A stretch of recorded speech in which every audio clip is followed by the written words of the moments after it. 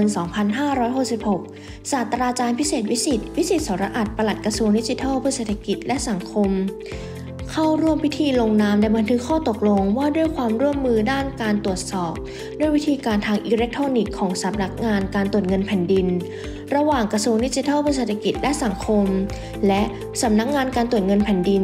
เพื่อมุ่งยกระดับการบริหารราชการด้วยระบบดิจิทัล และสนับสนุนให้กระบวนการตรวจสอบ ผ่านทางอิเล็กทรอนิกส์ของสำนักงานการตรวจเงินแผ่นดิน เป็นไปได้อย่างโปร่งใส สามารถตรวจสอบได้อย่างรวดเร็ว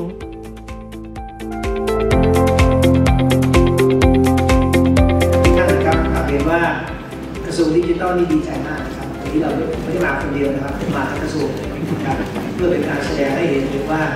การปรับปรุงในแง่ของการเป็นดิจิทัลกอ v เ r n เมนต์เนี่ยเป็นเรื่องที่จำเป็นอย่างยิ่ง